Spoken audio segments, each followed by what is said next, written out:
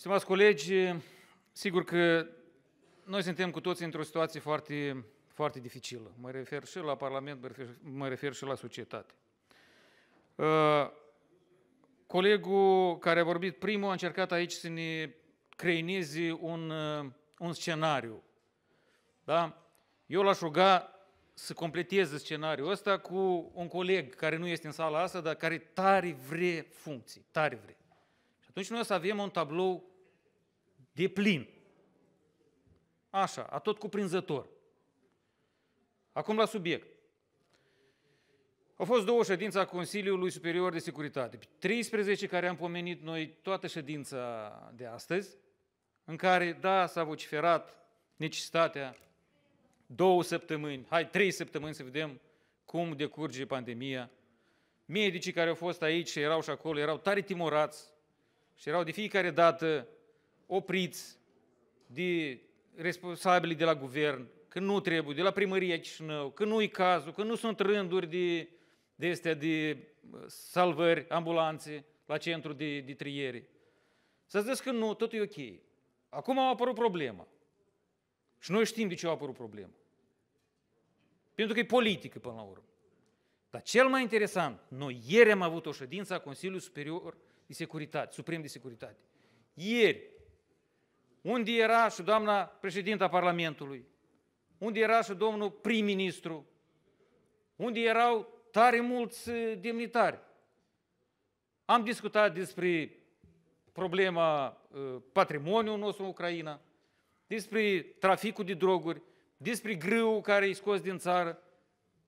O vorbă, o vorbă nu a fost din partea executivului sau celor care au venit seara târziu cu inițiativa asta la Consiliul Suprem de Securitate. O vorbă.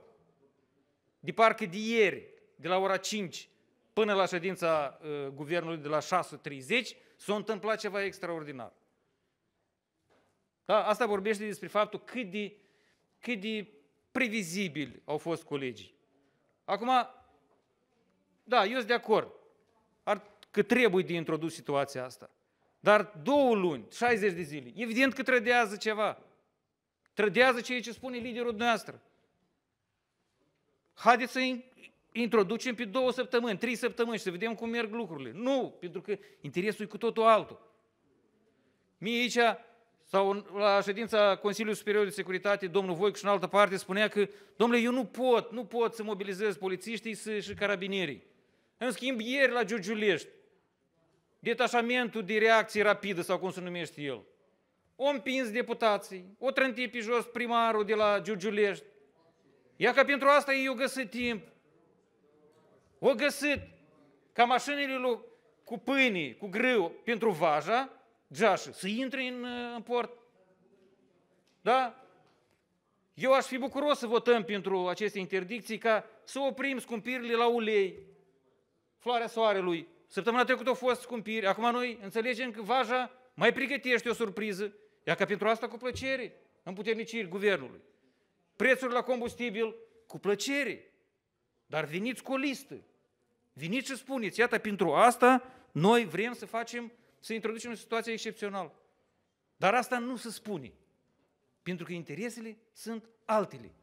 Și nu suntem în condiția anului trecut, când nimeni nu știa cum să comporte și ce fel de ajutor trebuie să dăm oamenilor.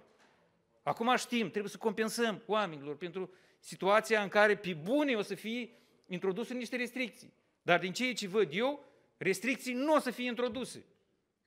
Parcurile o să fie așa cum sunt, transportul o să circule așa cum este și atunci întrebare, pentru ce trebuie aceste restricții? Trebuie să dăm compensări la oameni. Da, le dăm. Eu sunt de acord, oprim toate cheltuielile neprioritare și dăm la oameni bani. Asta e, asta e golul situației în care ne aflăm noi. De aceea, noi nu o să votăm pentru două luni de zile un, un cec în alb pentru cineva care acum seara zboară iar nu știu unde, la raport.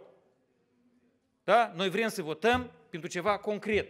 Pentru că noi trebuie să ieșim de aici și să le spunem oamenilor, introducem ceva nepopular, da, primești asta. Compensăm prin asta.